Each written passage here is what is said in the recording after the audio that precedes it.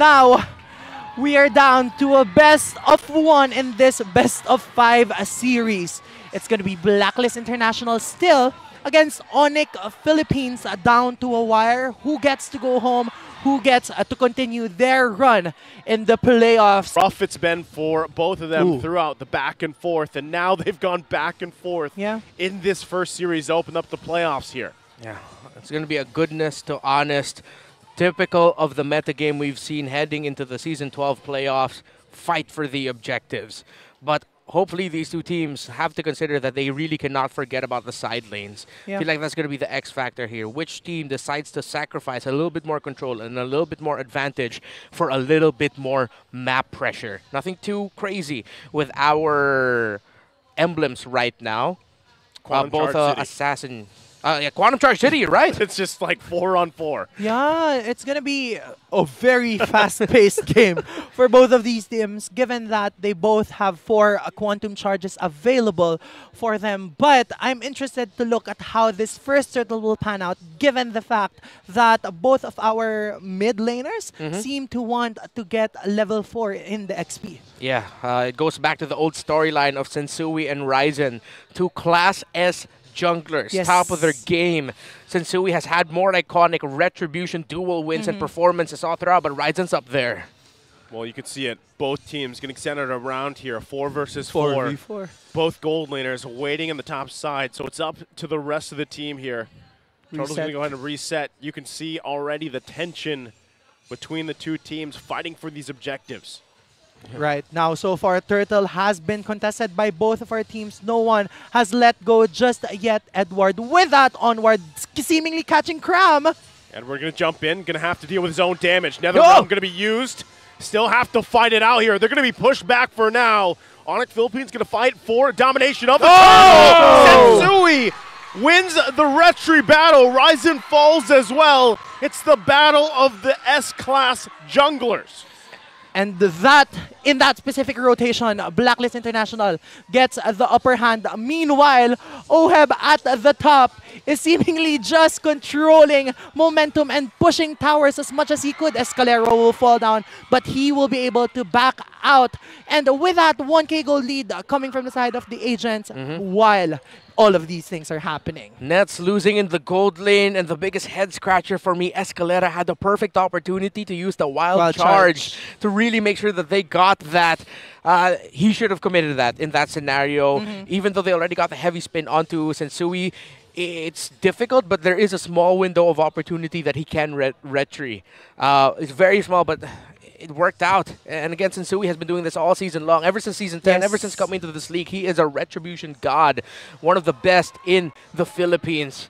So Onic needs to put apply, uh, really respect Sensui and apply more pressure when Yeah. they can. Yes, and with that pressure comes Escalera's momentous wild charge casting as well as Ryzen's heavy spin. But so far, we haven't been seeing any of that just yet. Sensui still on the back lane, seemingly wanting to poke Escalera this Grok. But Renny J will back out, and this is going to be a chill game for both of our teams, supposedly. Well, right now it's Blacklist tempo.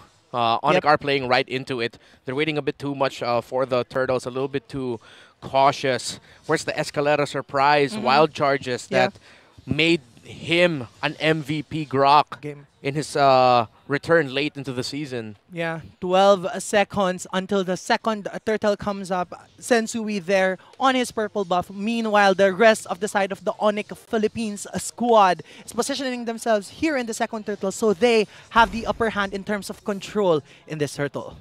Turtle now up here. Sensui grabbing the buffs that he needs. And as we saw, Blacklist International One level guarding themselves a nice little lead here. They're going to go ahead and work with it. Circling Eagle to come down. They find more. Escalera could be in Wild trouble charge. here. Wild charge and defensive flicker. Fight. The lockdown. Whoa! Sensui does it again. Gets the second turtle What? out of the hands of Ryzen. Now going to be focusing on the purple buff as well. Ryzen has nowhere to go. How did Sensui get that? How many times have we said that throughout this season? How did Sensui get that? And Onic, you need to apply more pressure onto Sensui. My gosh. When teams go up against Echo and KarlTzy, they blow everything that they have to get KarlTzy down. You can't just control Sensui. You have to bring him low or even take him out. What the heck? Two turtles for the side of Blacklist International while they sweep that bottom lane outer turret. Meanwhile, 2.9k gold lead still in favor for the side of the agents as they want to be able to push this mid lane, but no, they wanted to respect the damage output coming from Super Frince as well as Ryzen's heavy spin. 1,200 gold lead is the difference between Oheb and Nets right now with Blacklist Gold Laner in the lead up to Dominance Ice. You see here the difference in uh, priorities. Dom Ice here for the Four Edith and of course the. Radiant Armor as well uh, for Cram instead. So again, similar to earlier, uh, this Dyrroth is going to be a little bit more utility because he's Yes. just there. Oh! oh! No way. What? Mr. Worldwide. That's who was going for it. Escalera, though, going to get forced back. And this is, you know, honestly, this is just the fundamentals from Blacklist International. There's nothing fancy about Yeah. it. Yeah. It's just what you expect from these teams. It's very clean. Yeah. Sonic Philippines, you know, how do you disrupt this? And this could be it. Concealed play going to come through. Escalera finding Oheb. There's the response. Renegade with the circling eagle. Escalera, will he be able to escape? Once again, now Oheb, Oheb. avoiding the lockdown. Heavy spin not going to be utilized either. Escalera didn't have the wild charge there. Of course, we saw that him have to use it earlier for an escape uh, when things got shaky down at the bottom lane. Yeah. So right now, Blacklist are in control. They can Ryzen. continue this. Oh, they get the heavy spin out. Ryzen Ooh. able to survive a little bit longer. Oheb Get could be in trouble here. There's the wild charge, knocking Oheb up. Edward, the next target. Can they get it? Sensui working on the turtle. He gets that. Cram now going to get tossed over. He's the next Bro. target. Knocked up. Can't play. Cram's gone. Can't play. That is the perfect statement. So much control coming from the side of Blacklist. How can you play when you can't even move? He really couldn't move. what was that? Chain uh, crowd control coming from Edward. Wow. It was a trade after trade, but I think it was in the favor of Blacklist International mostly because of the fact that they were able to secure all three turtles in this game. Onic still not at the end of the game because despite the 2.5k gold lead with the side of Blacklist International, they can make plays. They can make perfect setups for their team. Oh, again, Escalera going to go for it. Yue survives. Drags three with him, though. He will fall. Now Edward there. The rest of the team going to crash down, looking for the sandwich Oh, play. Renegade! Renegade going to find nets, but can't go forward. The turret still stands. Blacklist International now. Oh. Can they press it on? They look like they want to do it. Bringing them back. Now forcing him. Cram once again getting tossed over. Gonna get trapped here to his death. Along with the turret falling. gosh. They keep it going. Blacklist International is out for blood. Onward again, cast it against Escalera, but he will be able to back out with that Wilderness Power of Guardian. And with that, Blacklist International has ballooned their lead into 5.1k gold lead in terms of economy. What do we have in the items? Okay, up to a golden staff already is the carry. Berserker's Fury Haas's Claws already on the way to the third item is Oheb, and he does build it. The Great Dragon Spear in his hands, and the problem now for Onic is that Yue has a Lightning Truncheon. But Super, Super Frince is able also. to mit- match that as well. And we, this is what we talked about. You mentioned it, uh, Naisu. And we talked about it leading up to this game. It's not going to be flashy. It's not going to be fancy. Yes. It's honest to goodness. Just who can play better? And right now, the answer to that is it's Blacklist International, sticking to their conditions. A- And Onic, um, they'll, they'll just try to open up the map a little bit more, sending nets up top. Oh, what the heck? Ooh, big play maneuver coming out here. Ryzen ah. can't get away, even with a heavy spin. So the Lord in the hands of Blacklist International, they continue on, taking out the jungler They of don't Onic stop. Philippines. Net's still on the top side, doing what he can. That tier one just about down. But now Onic has to defend against this Lord push. A 7k advantage coming from the side of Blacklist International with the Lord at their helm. This is what we were talking about, folks.